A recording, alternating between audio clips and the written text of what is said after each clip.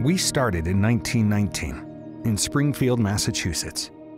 An answer to the questions raised by a changing world, where people moving from the farms to the cities lacked the skills and support needed to find their way forward. We endured through the Great Depression. We grew nationally with the expansion of the interstate highway system and globally with the advent of the jet age. As the economy moved from manufacturing to service, we entered the nation's classrooms. We were one of the first organizations to bring computers into schools and ran global business simulations years before the creation of the World Wide Web.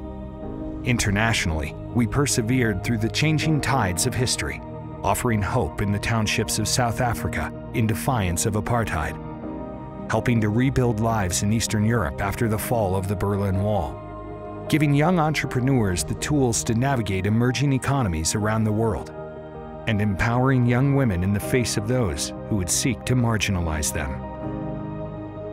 We have endured depressions, recessions, wars, conflicts, and apathy. We have reached 100 million people and have helped them become more likely to finish school, earn a degree, start a business, and escape poverty. Our efforts have been lauded by educators, universities, CEOs, and world leaders, and most importantly, by those whose lives we have helped change for the better. Now we begin our next chapter. In 2019, we are turning 100.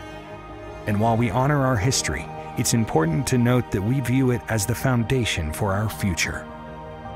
Today, 60% of employers say recent graduates lack basic job skills 90% of businesses fail in the first five years, and 72% of Americans say they struggle with money related stress.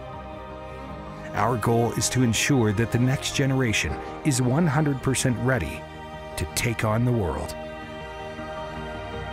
Some may say this is work better left to those that are younger, newer to the scene, more innovative. But you don't make it this long without being innovative, adaptable, and open to life changing ideas. Because when you start marking your age in centuries, it doesn't make you old.